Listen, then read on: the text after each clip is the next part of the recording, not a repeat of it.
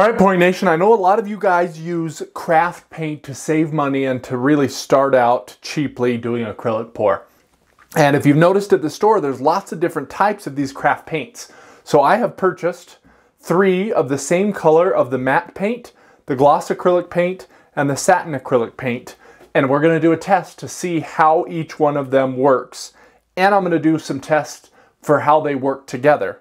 Now, one thing to note, especially on this Craftsmart paint, if it doesn't have any label on it, if it just says Craftsmart, um, at least on the Craftsmart line, then this is matte paint. Some of the labels do say matte paint, but I did confirm on their website and with the employees at uh, Michael's where I got these that these are essentially are the same paint. If it doesn't say anything, it's matte paint. And these are the cheapest. The gloss is the second cheapest and the satin is the most expensive. These are, you know, around 79 cents to a dollar, dollar 50, dollar 79 or dollar 20, dollar 50 and these are more like dollar 79, dollar 99. So here's the satin and it is by far the smoothest of any of these. This is the gloss and it is the thickest. You can see the texture of me just pouring it down in there is still sitting there. By far the thickest. The matte looks dull and a little bit gritty, which I'd expect from a matte medium, but it's just interesting to see. Right, so another interesting thing I found, I have the satin paint here, and I'm going to look at the blue in all of these.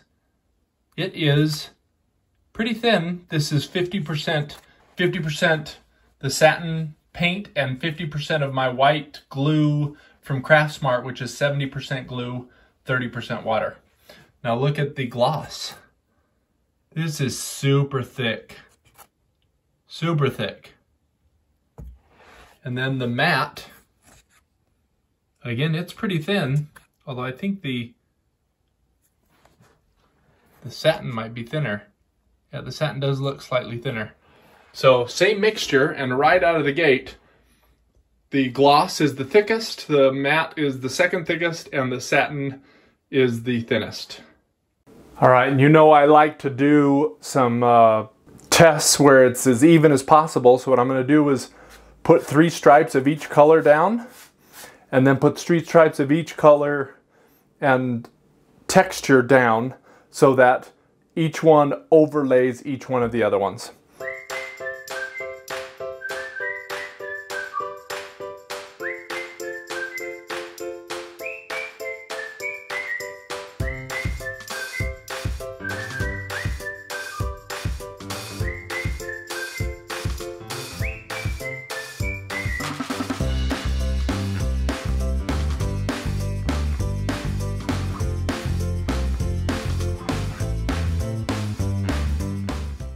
Right, so the only real oddity I see here is look at that white satin and even the sea breeze is allowing the other colors to merge into them.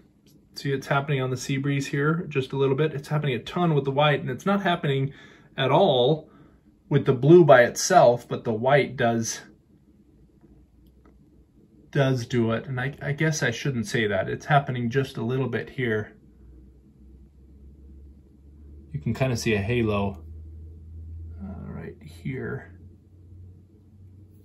But then you see that same halo for the satin. Sorry, for the gloss and the satin. So that is very interesting. I don't see a lot of paint falling into the other paint. Um, if I had to make a guess, I would think one of the lighter paints is the uh, satin blue and probably this matte blue also is lighter just because it's coming to the top more. But uh, otherwise, that satin just has some odd effects for multiples of the colors. just for fun, we're going to turn this into its own little painting.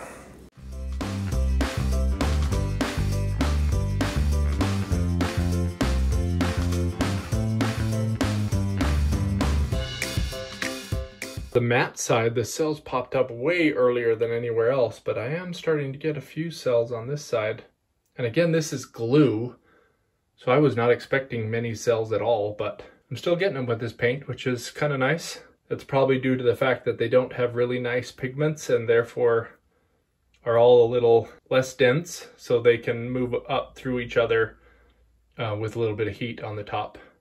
Right, so now we're just gonna prepare each of these cups the same.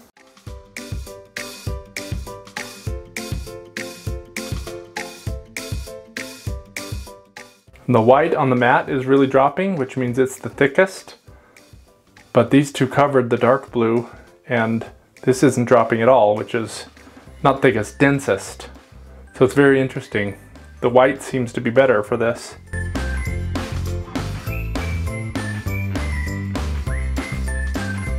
So now we're just going to do a, a straight pour with a little bit of wave is really what I'm gonna do for each one of these.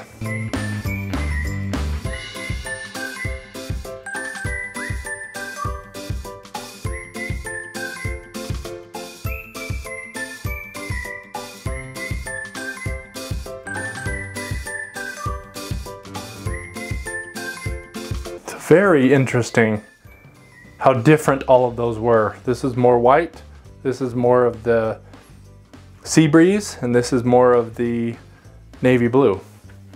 So we've given them all a torch, and now we are going to top right, top left, bottom right, bottom left. Everyone.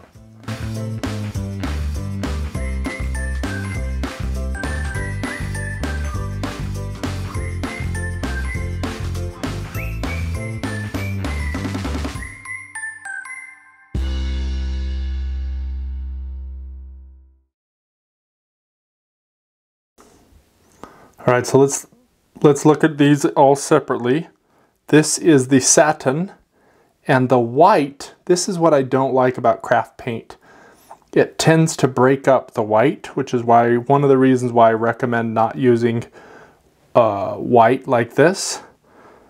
I did get some really pretty um, layering on the outside here, which I did like, and a couple of cells.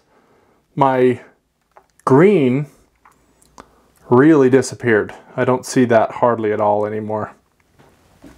So here's the gloss. I think this one looks the best. The white held up the best.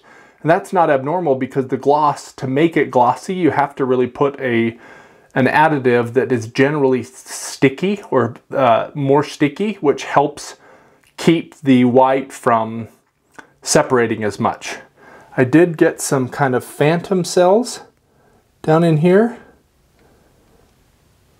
and then a couple of other cells, but this one looks the best, at least for me of these. The white really took over the matte. And I got a ton of cells. I was not expecting cells, but I got a ton of cells for in this matte. And then you can see a little bit here what we were seeing with the other color where the color is kind of bleeding into each other. See how it's kind of bleeding in there? I can see that on a couple of the other layers. But white really, really took over there, which means I was, because the white was sinking, I was expecting it to, um, to sink in here, but the problem was it all sunk to the bottom before I poured it out. So in the end, there was just so much white on the bottom. So my recommendation is still only use craft paint if you're practicing or you really just can't afford any other. If you're going to use the craft paint, it looks like the, the gloss is going to be the best option unless you want to create some cells and then potentially uh, get the slightly cheaper version. Maybe use one uh, color of the matte, not white, and if you really want to save money with your acrylic pours, I recommend you watch this video where I break down the cost per ounce of multiple different mixtures of paint, including craft paint, which paint mixture costs the most. Spoiler alert, it's water and paint. And which costs the least.